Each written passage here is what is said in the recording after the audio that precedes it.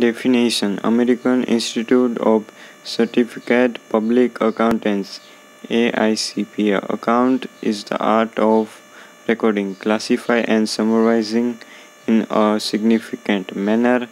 and in terms of money transaction and events which are in part at least of a financial character and interpreting the result of thereof.